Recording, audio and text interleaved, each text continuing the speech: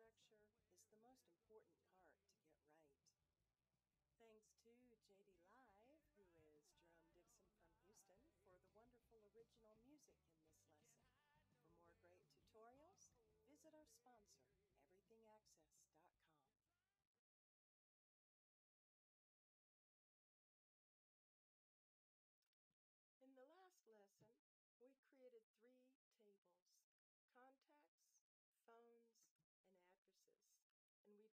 relationships going from contacts to addresses with referential integrity. And we defined another relationship going from contacts to phones with referential integrity. It's time to put some data in. I will open the contacts table and I'll put my last name in. Actually, you know, instead of name one, I think I'm going to make a few changes on the field names. While you're designing tables, as you think of better names, change them. So instead of name one for the main name, I'm just going to call it main name. And then for the first name, I'll call that name A, and middle name I'll call name B. And I've also decided to use CTC as my three character abbreviation for contact. So I will just edit the name of the note field as well. Save the table and go to the datasheet view. I haven't created my category table yet, so main name is long, first name, middle name, which I'll skip for myself, contact title.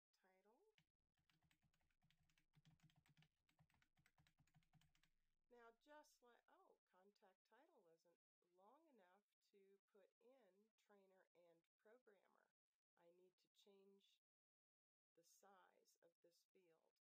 Right click on the tab, choose Design View from the shortcut menu, and Contact Title.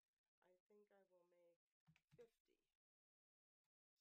Some titles can get quite long. Save, go back to the datasheet view.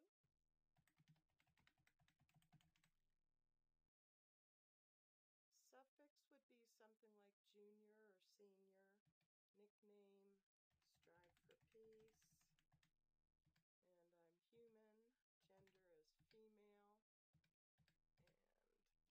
and I'll just put in the month of my date of birth. Now this is why I separated the date of birth into three fields because sometimes you just know part of the date of someone's birthday. You might just know, oh hey, their birthday is in December or you might know the year, or you might know the month and the day, and not the year. Normally I do store a date as a date field. Let me just look at the design view of this. See, one of the choices for the data type is date time, and date and time are stored together since both mark the passing of a day. But I didn't make this a date field for the simple fact that I don't necessarily I like to do when I'm looking at a datasheet view is I don't like this last column showing. So what I have done is I have customized my quick access toolbar to put the hide column button on. So I can just click there and that column hides. Now, if I open another table, because I'm in tab view, I can only look at one thing at a time. Now, what I like to do is go into overlapping windows view so I can look at more than one window at a time. So, File, Options,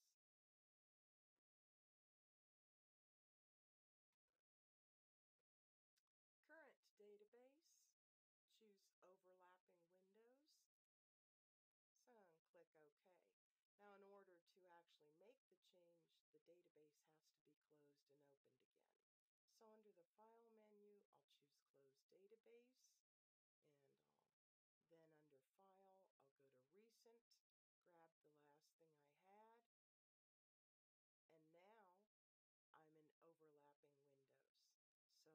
Now open more than one table at a time.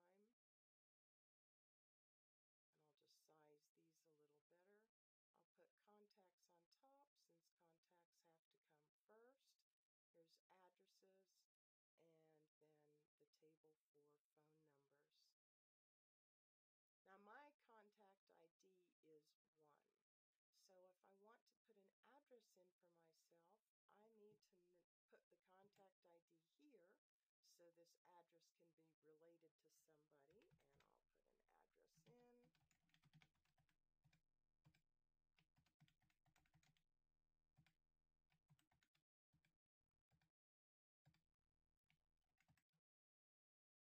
And same thing with phones. If I want to put a phone number in, I need to relate it to the contact. So I'll fill out the contact ID. Now I just typed the numbers in for the phone number. It's nice to put an input mask on a phone number so that the symbols get entered automatically. I'll click away from the record, right click on the title bar of the phone window, go to the design view, make this a little taller for a minute. On the phone field, click on input mask, click on the builder button and choose phone number. Go to the next dialog box. The placeholder of an underscore is fine. Go to the next. I always like to store with the symbols. That way, when you export to another application, it looks like a phone number, not just a number. Go to the next dialog box and now finish. So now I go back to the data sheet view, save the table, and the phone number that I put in now has the symbols. And just like I did with the other table, I'm going to click in the click to add column and hide it. I'll do the same thing for the addresses table, hide that. Now notice when I make a change, there's a pencil in the record selector area. This means there are changes to that record that have not been written to the disk. Another field name change that I'm going to make is changing C title to just title. So I'll go to the design view of this table, make the window a little taller while I'm in the design view, and I'll just take the C off of title and if I want to use title in another table, then I would just change the name there. Look through the rest of the fields. Now, I like to put tracking fields in. And one of the tracking fields that I add is called DTM add, which is a date time, and this is the date time the record was added. This is a very easy field to add. You can just set the default value equals now open close parenthesis, look at the datasheet view of this information, and let's see how this is going to affect things. Let me create another record. Last name, first name, and Joe is a plumber. He's human, he's a male, and let's say that I do know his birthday. It's uh, 1982, January 1st. He was a New Year's baby. And now notice that the date added, let me resize this so we can see the time as well, is automatically filled in. This is very, very nice as you're creating records to know exactly when it was added. So I will go to the design view and I'm going to put another tracking field in. I'll copy this and I'm just clicking in the selector box and pressing Control C. You can also right click here, choose copy. And now I will paste that. I'm going to make a slight change though. This is the date it was edited. Here again, I'm going to start out with a default value of now. Now this edited field is going to have to be manually updated. When we design forms to put data in, we will update this field. Now I'm going to copy these tracking fields to each of my tables. Select them both, press Control C to copy. Now let me go to the design view of phones,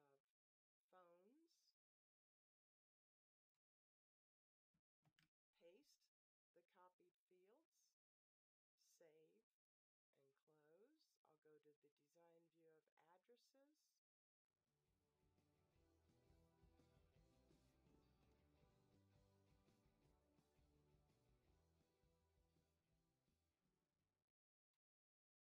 come to the bottom and paste the tracking fields in here as well.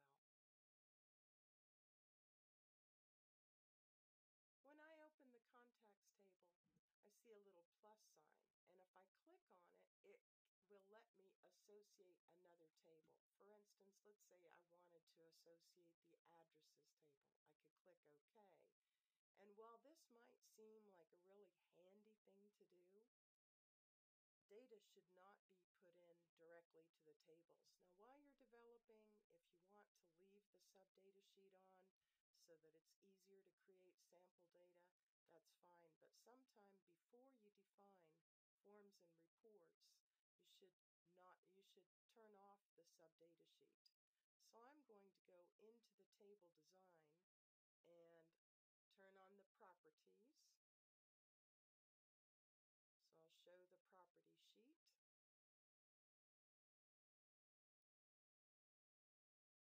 And on the subdata sheet name, notice that I associated it with the addresses table, but here I'm going to pick none.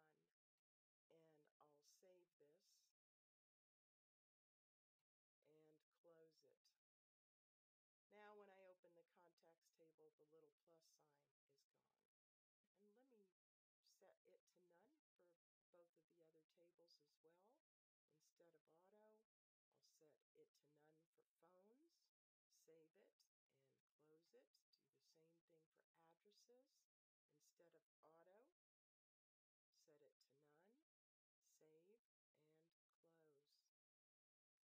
Under options, we want to turn off autocorrect. So on current database, first we have to Uncheck Perform Name Autocorrect, click OK, Compact Repair the then go back to Options, and on Current Database, go back down, uncheck Track Name Autocorrect, click OK, Compact and Repair. Now, the subdata sheet changes that we made will stick having autocorrect on can cause issues. It's a good idea to turn it off and just make all the corrections yourself. It's time to create some more tables. Looking at our relationship diagram, and I'm just resize these since I added tracking fields, I see that in my contacts table, I have a place to put the category in, but I haven't created a category table yet.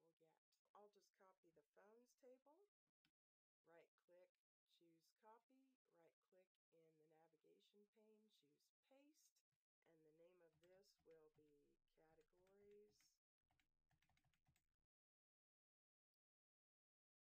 Ah, actually, I think I'll do the singular.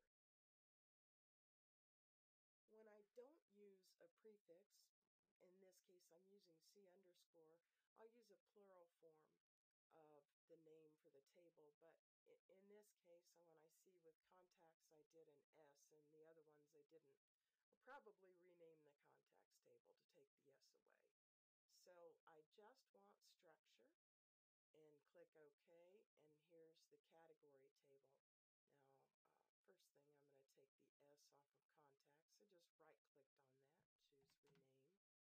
And then on the category table, right click, go to the design view. The primary key is cat ID. I'll press F2 to select the whole field, Control C to copy, Tab Tab, paste that into the description. For the category, the next thing I want is, I don't need that, uh, don't need a contact ID and I will just have a and that'll be text. you have to be careful when you're copying a table. See, I have an input mask here, which I don't want for category. Uh, field size, I'll bump up to 50. Don't need these two fields, so I'll just delete them. So there's the category table, save it and close it. Now as you're designing tables, put them on your relationship diagram. The relationship diagram is so much easier to work with when you build it as you go. So I'll resize these. Cat ID, drag from the primary key in the main table to the foreign key in the related table and let go. Make sure that the fields listed up here are the same and I see I didn't let go of it on the right field. I must have let go of it on CID instead of CAT ID. So I'll cancel this. It's very important to let go on the same field. So now I let go on CAT ID, going from CAT ID to CAT ID, and then what else do I need to check in this dialog box? Enforce referential integrity. This will ensure that I don't have any cat IDs in the contacts table that don't exist in the category table. I also want to create a table for email addresses. So once again, I'll just start out with one of the other tables. Control C to copy, Control V to paste. This will be C underscore E address and just want structure modify this. Uh, the primary key will be E A D R I D. F2 to highlight it, Control C to copy, Tab, paste. The type ID will be for the email address, and I'll just use EAD, and primary is still a good choice. Other options might be work, personal. I'm still going to be linking to a contact, but here instead of phone, I will have the email address. And that'll be a text field. Once again, don't forget to edit this bottom section. 100 is long enough for an email address. Don't need those other two fields. So save this and close it. Put it on the relationship diagram.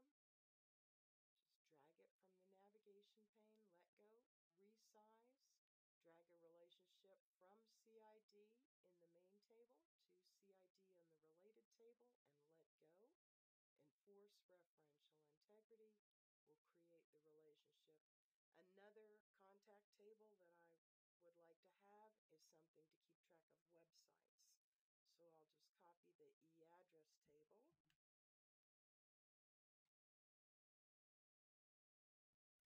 C underscore web, structure only, modify, this will be web ID, copy, paste to the description, type ID web,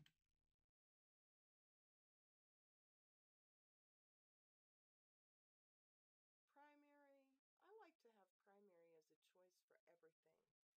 And so types of web pages might be personal, blog, news, whatever categories you want to create.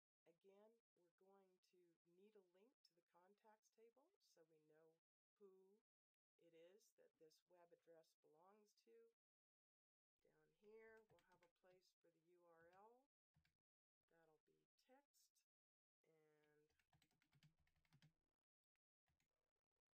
That'll be text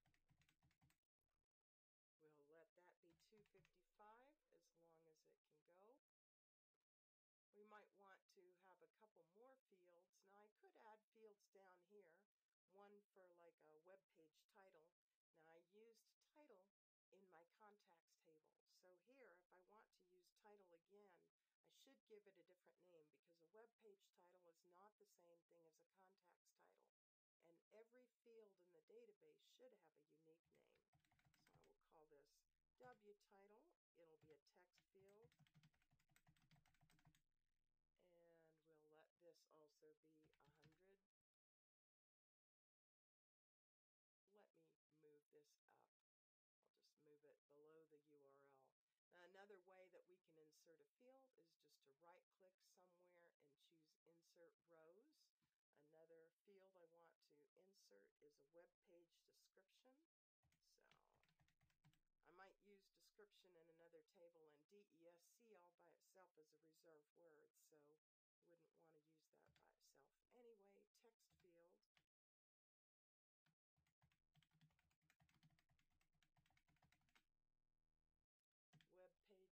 web page description.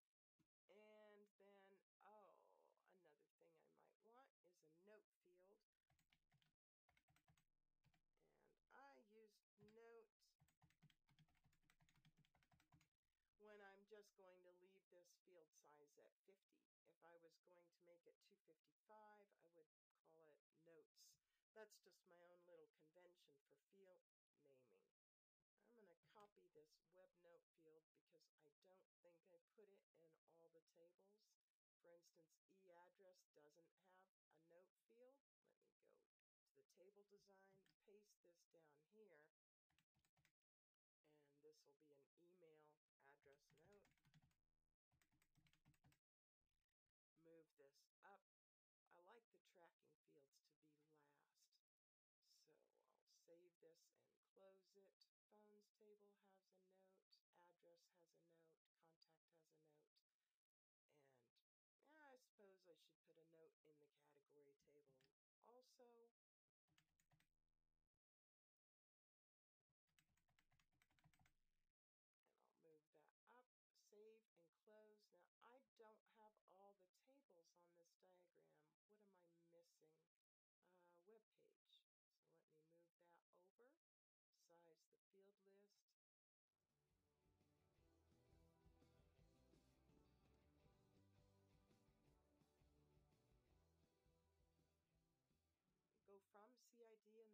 Contacts table to CID in the web table, let go, check enforce referential integrity, and create. Another field that I have in each of these tables that I need to create a table for is every single one of my related tables has some sort of a type. Address, phone, email address, and web. Let me create the first one. Create, table design. I'll start this one from scratch. And this will be type ID, it'll be an auto number. Type is a text field, and we'll let it just be 50. The reason I didn't make TYPE as the field name is because TYPE is a reserved word. Now I need my tracking fields. I could type them in here, or I can go get them from another table. I'll just right click on one of these field lists, choose table design, come down here, copy these tracking fields. I just pressed Control C. And I have a Windows on my QAT, so I'll drop that down, go back to table 1, paste the tracking fields, I've forgotten to set the primary key. Happens if I try and save this table. I'll put my, so I say OK. Access says there's no primary key defined. And there is an auto number field. So if I say yes, it'll choose that auto number field for the primary key. And when I look at the indexes window, I see the primary key is set on type ID. Now this is just a generic really need one of these for each of my related tables. So let me close this and on types I'm going to copy and paste it. First I'll do address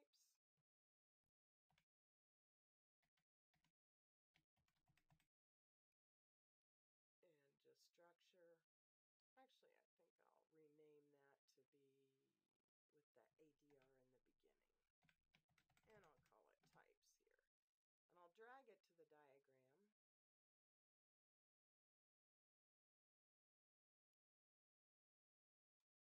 And I'll use the same field name for the primary key as I did in this addresses table. So I'll just put an ADR on the end of each of these. ADR, ADR, type of address,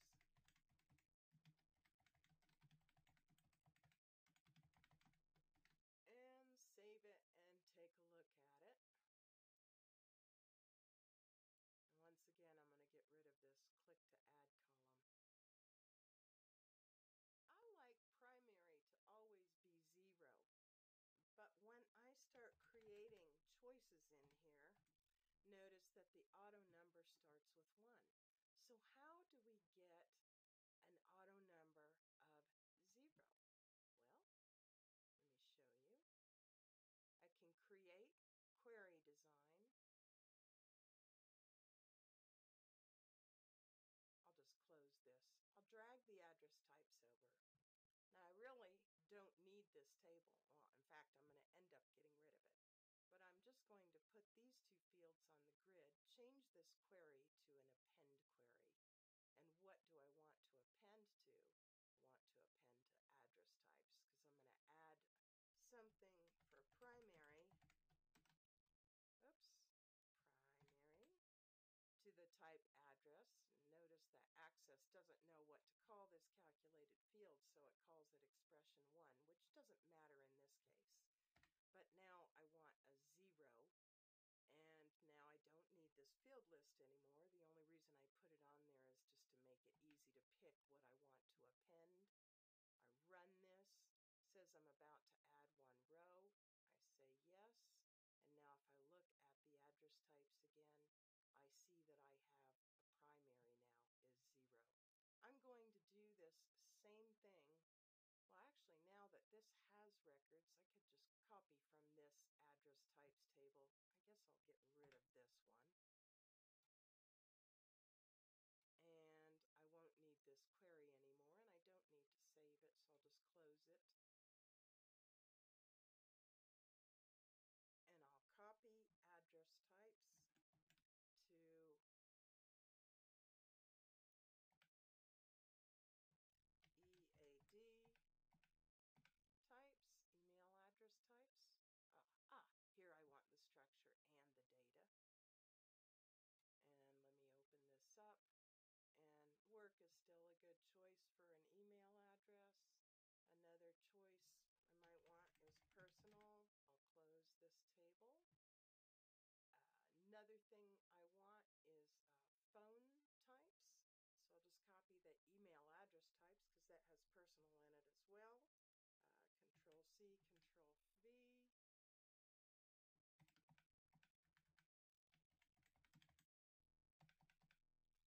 is phone types. I'll get structure and data. Open it up. That still is pretty good.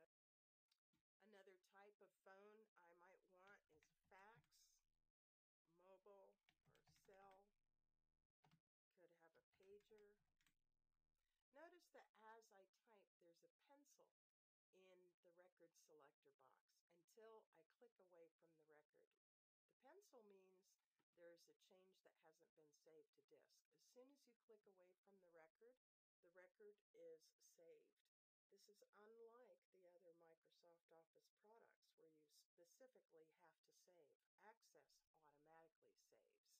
Stopping it from saving is the tricky part. Close the phone types table now and I'll copy the email address types to create the web types table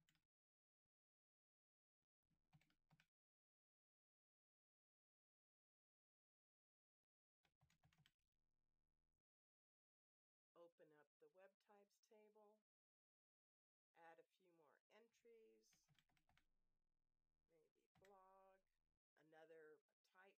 You, you might have a, a URL that you have in there for pricing. And these categories can be anything you want. I will close the web types table and we have some more stuff to add to the diagram. To make space, I can double click one of the ribbon tabs and collapse the ribbon. And I'll also double click the relationships title bar to maximize that within the access window. Give myself these types tables in. So address types we already have need to make a relationship and enforce referential integrity. I don't like this to happen where the lines cross. So I'm going to rearrange the field list so that CID is above the type ID. Right click, go to table design, click in the selector box for CID, let go, click again, drag it up, close it, save it, and now those lines don't cross. I think I'm going to have to do the same for each of these others. Now, let me go ahead and bring on the phone types, resize, bring on the email address types, oops, wrong one, and bring on the web types.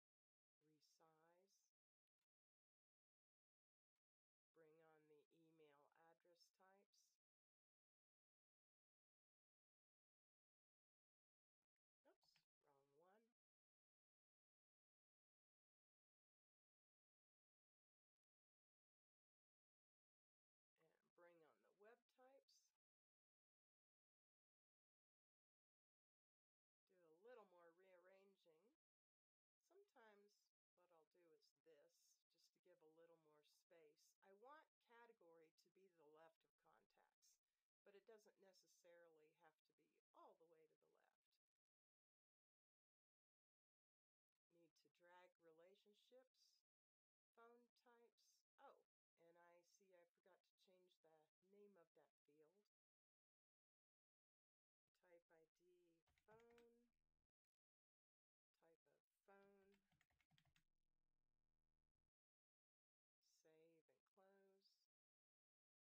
drag a relationship, rearrange the fields in the phone table so that CID is above the type field. That way the lines don't cross on the relationship diagram drag a relationship. Now here again, I have to rename this field, but first I'll just go ahead and create this relationship. Then on the email address types, type ID email address, and I guess I should copy that whole thing over here now.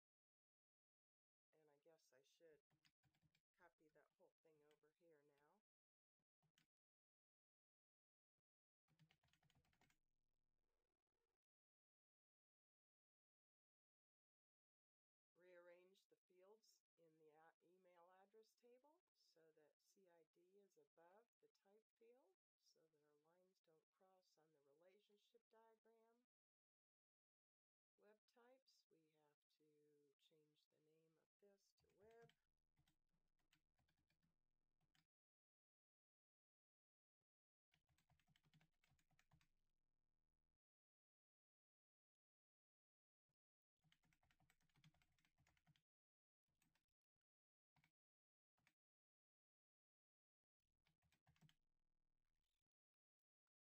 save and close, drag the relationship, enforce referential integrity,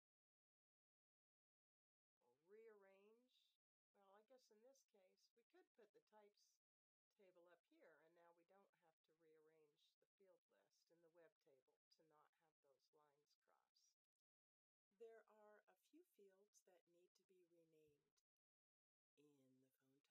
In the phone types table, and in the email address types table. My main tables are created. The relationships diagram is laid out so that it flows as data must be entered. By this diagram, I can see what the database is tracking and how the tables are related. Oh, that looks pretty good. Next time, we'll build some forms.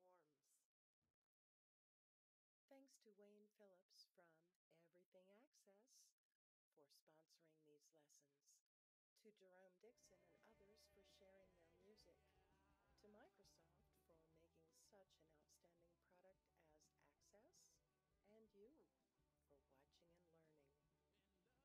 would like me to come to your location and teach Access using your business information, or you want to connect to me so we can build your database together, send me email. Follow the links in the video description to learn more. In the next lesson, we will build forms to enter information. Through sharing,